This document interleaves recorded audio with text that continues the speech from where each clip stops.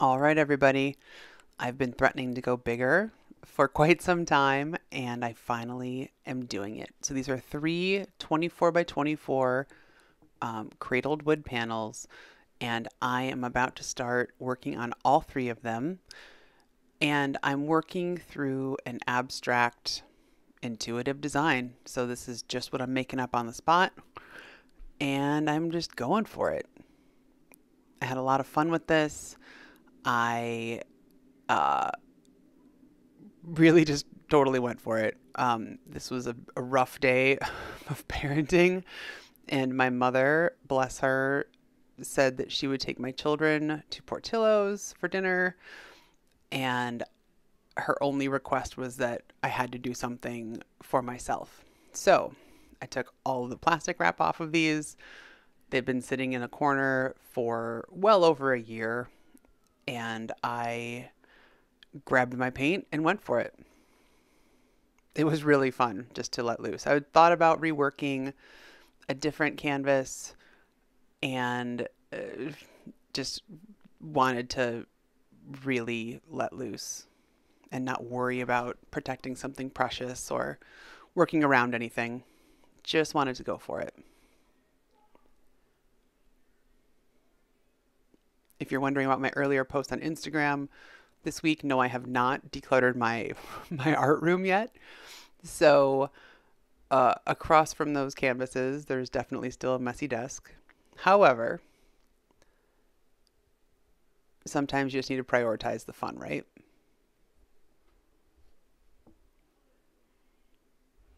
I'm going through and just marking with a, actually, it's the back of a paintbrush. I have an old paintbrush that lost its brush. So I'm just kind of carving into that paint.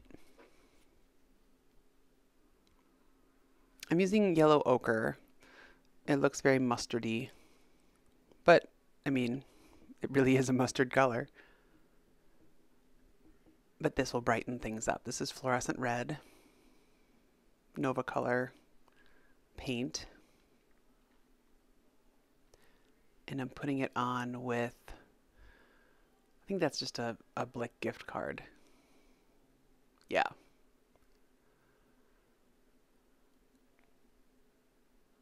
I like using this because you can really control how thick you want the paint. If you want it to be thicker, you just leave more on it. If you want it to be thinner, you can go over it again or press down harder. The only thing I don't like about the fluorescent paint is that it is one of the more toxic paints.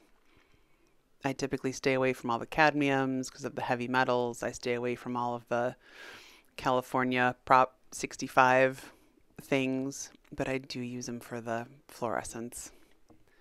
I have a uh, just a pencil in one hand, a mechanical pencil, and then the other hand I have a black China marker. And doing it two hands at once helps you helps me think less so that I can just scribble and not worry about it. This is black. And I'm using a catalyst wedge here.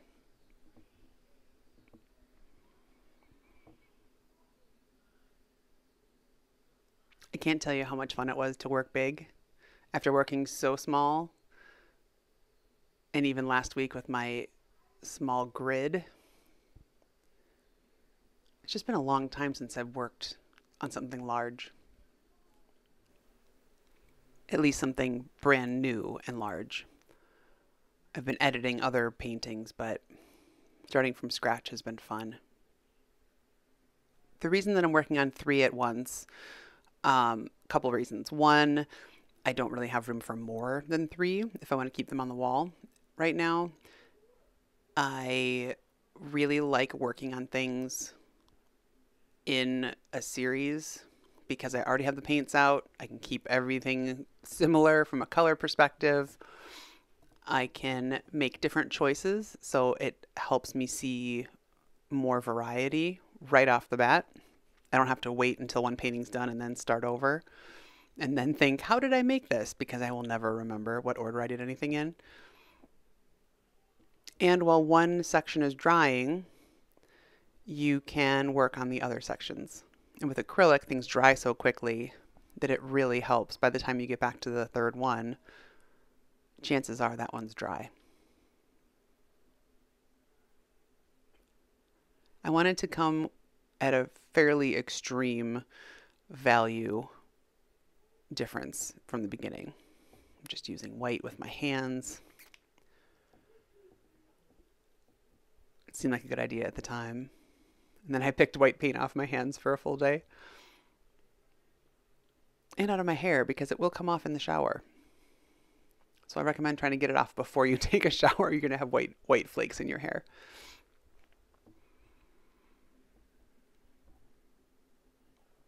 But it's so it's really it just it seems like it's harder to work on three paintings at once if you're not used to doing it. But somehow it's easier. I know it doesn't make sense if you're not used to it. It seems like it should be much harder because you have to make more decisions. But what I've found to be true is that you are less precious about the decisions that you make because you have three going on at the same time. So you become a little bit less attached to each one individually, and you're better able to continue making choices rather than trying to sit back and think what's the right choice.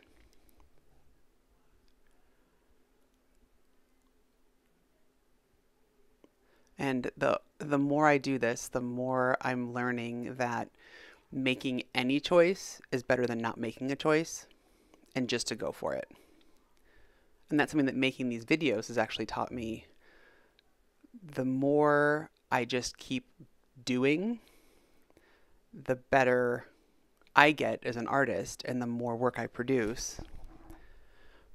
But also, it's just more interesting I make decisions that I wouldn't have expected of myself that I wouldn't have planned out. But because I need to do something to keep going, I've made some pretty interesting decisions along the way. Certainly some that were disastrous, but disaster is kind of fun. It makes things really interesting. And you can recover because you just cover it up with paint. It's only paint. Feels very hard when you put so much work into something sometimes to remember that. But at the end of the day, it's just paint. And if you can do it once and make something magical and you push it too far, you can either bring that one back or you can start over if you need to, if you've really gone too far. But you will ha- still have more going for you by making more choices than sitting and waiting to make what you think might be the right choice. Because I've waited years to try to figure out what the right next choice is for paintings. Years. And I'm finally learning to just say, okay, well, let's just make a choice today. And then I can then I can go from there and move on. It's also much more fun once you sit back and start waiting too long, it's just not fun anymore. It feels like, oh no, what's going to happen? I have to do the right thing. Now I've waited so long. Now I really have to, to do something nice.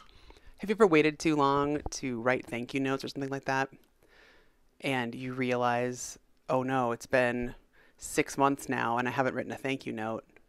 Oh gosh, now it has to be like the perfect thank you note because I can't just say thanks for your gift.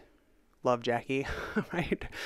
Um, it's kind of the same thing. If you wait two years to make the right choice on a painting, it's very easy to say, well, I've got to keep waiting now because I've waited so long. I, I don't want to, you know, muck it up now.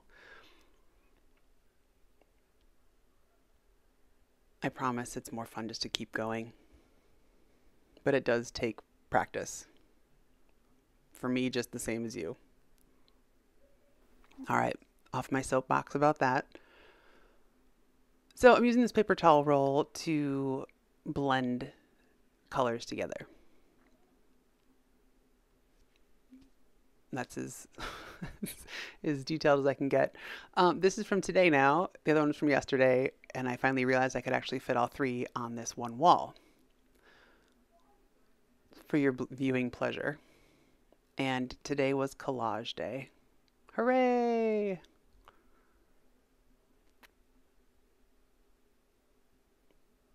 I'm using papers, I'm using some tissue, and most of this is, maybe all of it is black and white that I did today. I think there's a, a very uh, few exceptions to that.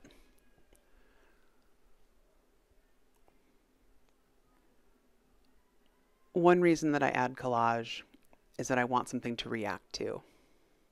So if I'm feeling lukewarm about my paintings, not even lukewarm, just I don't have a clear direction, then I will often pause and add collage. Add a little pizzazz in there, and then it gets me thinking.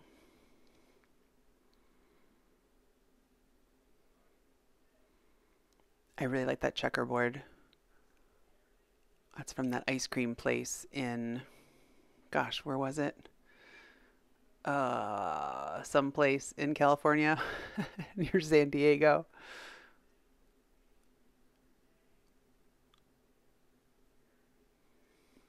Near Carlsbad.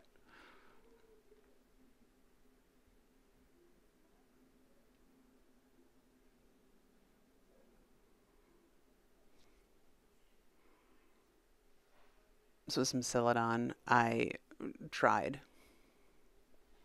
Ultimately failed to add this piece, but I did try. One thing I noticed today is that I kept choosing long rectangles. So pieces that were long rectangle shapes, much like those checkerboard pieces. A lot of the collage pieces I chose were that same shape. Sometimes I was like, well, all right, I'll just keep going. And sometimes I made a very purposeful decision to, to pick something not that shape. Neither is right or wrong. It just depends on what you want. And the one on the far right is is really turning out to be more of a grid shaped painting so I'm not opposed to rec- rectangles. That white piece I just um, attached is from white butcher paper that I keep under my desk. So those are just doodles and, you know, painting that's around the edges of things and whatnot. It's nice to have a little piece of chaos. and those of you who paint very subtle designs may think that all of these are chaos. But I like to have some very small details that may or may not get covered up later. We'll see.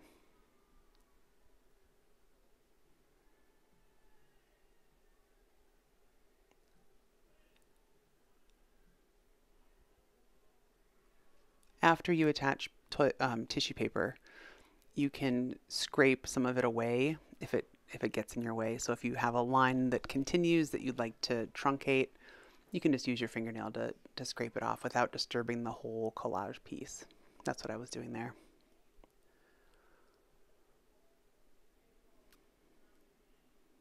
I'm trying to add this another piece of the butcher paper. I used to save the whole giant piece of butcher paper to cut up later. Now I just cut out the parts that look interesting and put them on a shelf. Much better use of space, let me tell you.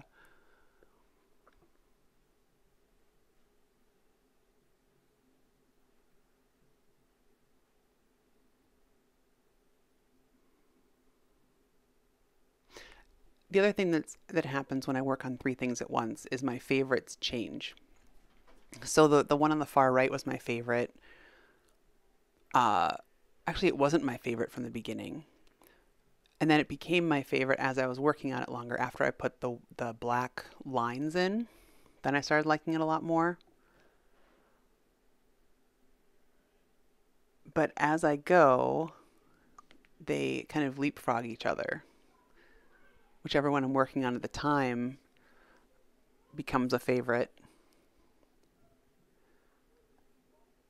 And again, it just helps to not be too precious with things. So you're, I help myself because I know myself, I get very attached to things.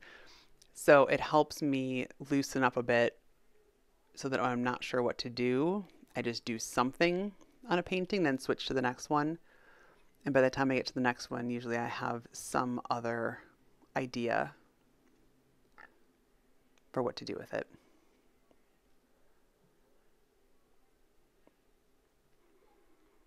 The piece on the left is noticeably darker than the other two, especially the one on the right, which has way more white in it. Again, nothing right or wrong there, just an observation. Sometimes I will try to add collage to break things up. So if something looks too dark, I will add more white collage to it to lighten it up and vice versa. If something's too light, I'll add more dark. I'm not doing that yet. I'm just trying to find pieces that, that I like in each painting. I'm using a yellow ochre Neocolor crayon, Neocolor 1, so it's not water soluble, and just doing some line work.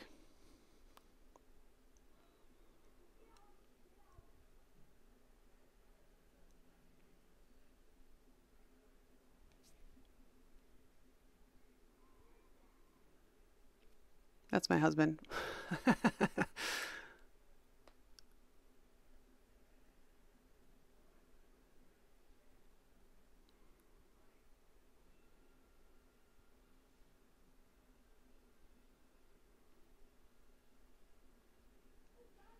and even though I'm already using the yellow ochre paint and the Neocolor color is very, very similar to that paint,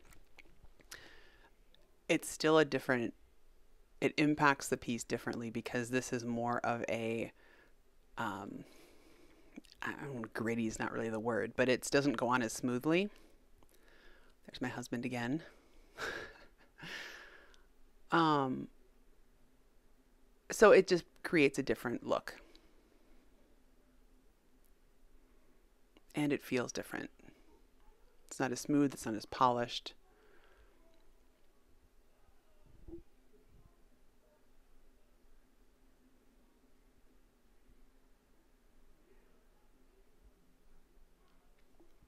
So I took some of the fluorescent red and I mixed it with some of the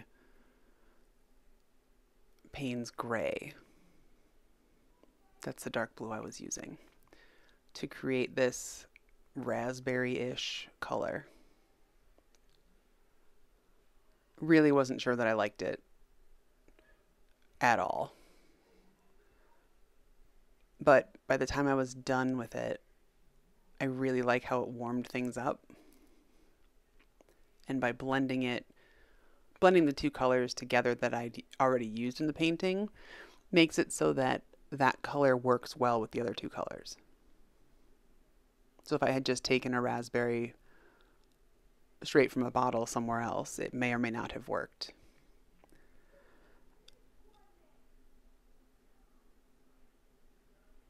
But by using colors and, and blending colors together that are, I'm already using, it's a cheat code to make sure that your colors all work together.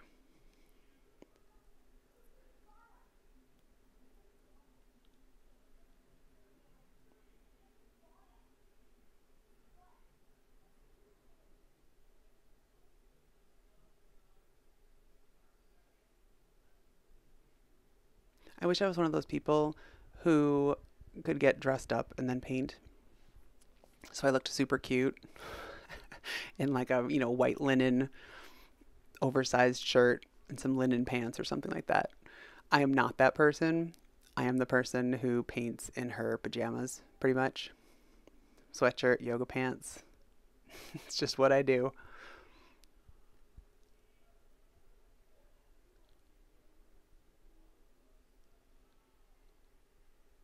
That's the price of admission from watching me paint large paintings. You're stuck with my pajamas. My loungewear, excuse me.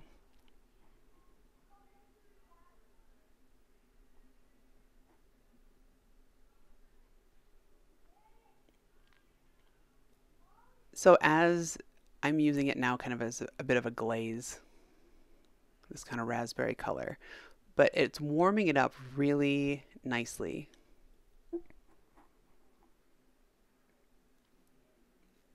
I've made another shade of this color, another combination. So I've just added extra Payne's Gray, which is now creating a plum color.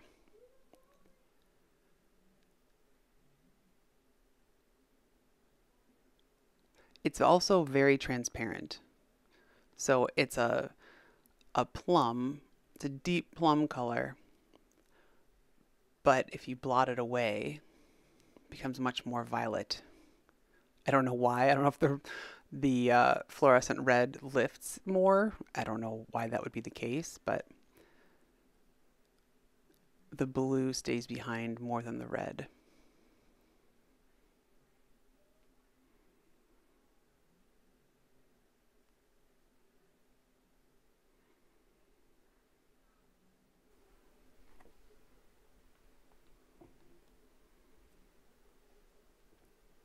This is some Payne's Gray mixed with white.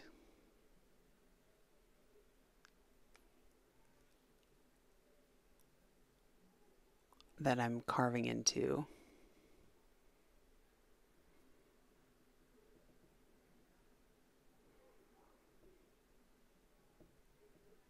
Just adjusting the shape because this is again what I'm realizing that everything I add tends to be that same long rectangle.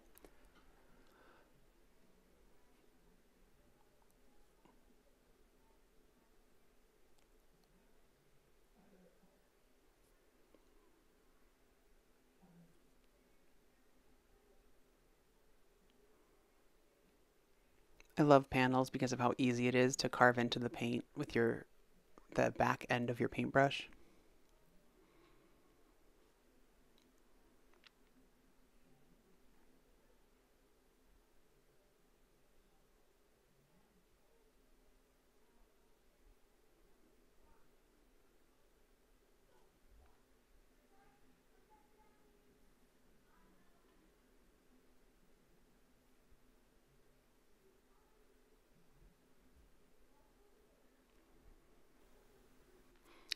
Now, bringing out the big guns. So now I'm adding the quinacridone gold, which is always my favorite way to warm things up.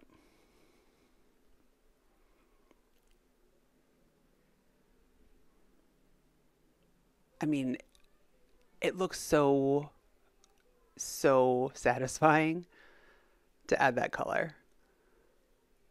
It's almost like the sun is just shining on it. Maybe it's just me I just love it.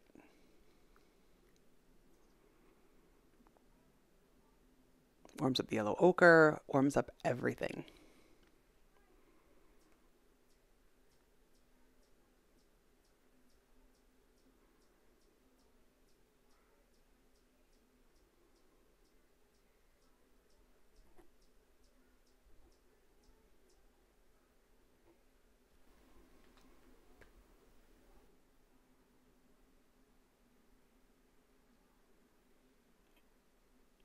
So even though these are still probably a long way, oh, there's my husband again,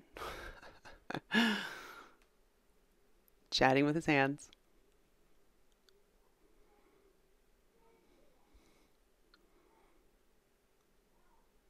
I I decided I would block some things out with a cream to keep the warmth,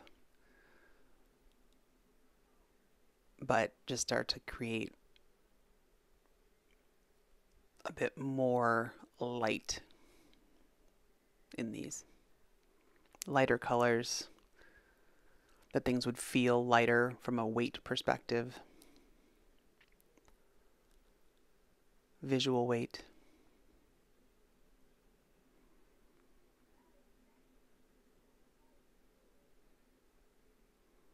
More Payne's gray.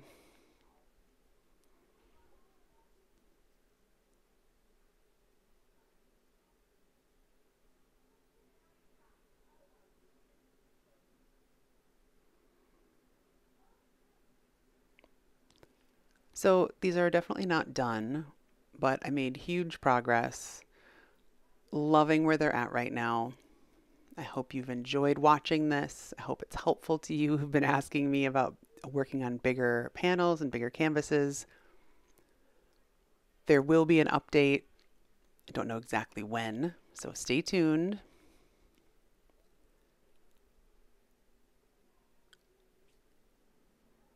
Let me know what you think. If you haven't subscribed yet, please subscribe. Uh, it really helps me. It really helps me really get in good with the algorithm, so it shares my videos with more people. Thank you so much for watching. Take care.